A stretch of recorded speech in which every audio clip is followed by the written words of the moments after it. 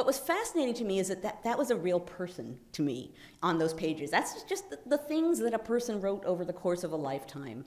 And as you'll hear this evening, some of them are, are formal writings and reports, some of them are letters to political figures, some of them are letters to friends, some of them are just little informal memos. Uh, and sometimes it's really the things that don't seem official and don't seem formal that are the most interesting.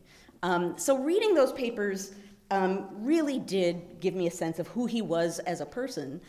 But as Scott suggested, it's been about 35 or 40 years that I've been studying Hamilton. And for most of that time, no one knew who he was. Like, no one had ever heard of Hamilton.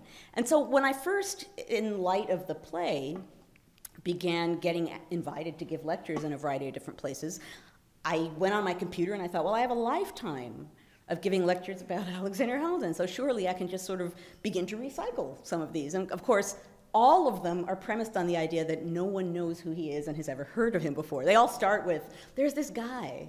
You've never heard of this guy before, but let me explain to you who he is because he's significant in the early republic we are in a different universe now, clearly. So that rather than wandering around all the time and telling people you need to hear about this guy, I spend a lot of time saying, he's not as great as you think he is.